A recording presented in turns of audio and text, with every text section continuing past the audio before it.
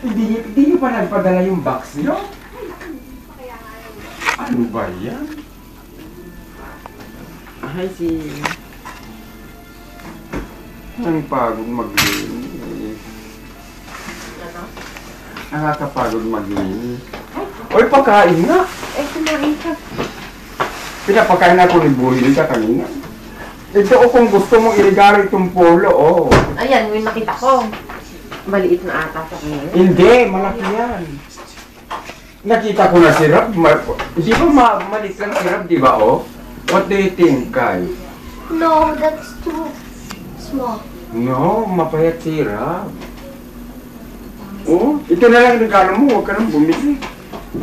Ay, yung pera mo. Hmm? Ang ganda naman nga. Ay, ang ganda ng internet mo. Ano, anong tawag dito? Apple? No, Ay, mayroon kayong mga bags na malilit na ganyan. no? wala. Mayroon noon eh. Hindi ba gumagawa ka dati niya? Yeah. Ikaw ang mga sampu. Sampo. Oo, ireregalo ko. Lagyan ko lang ng ano. Wintas. Ipamahagi ko.